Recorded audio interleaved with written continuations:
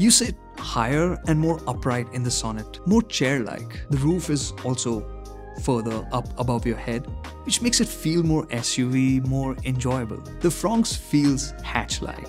It isn't as airy.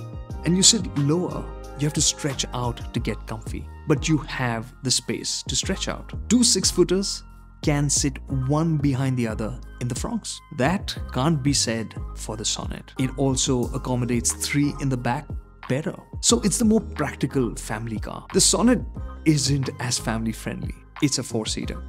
But despite its narrowness, it feels more airy and relaxing. The rear window shades are a lavish touch. Genius. The Sonet also has a more lavish boot.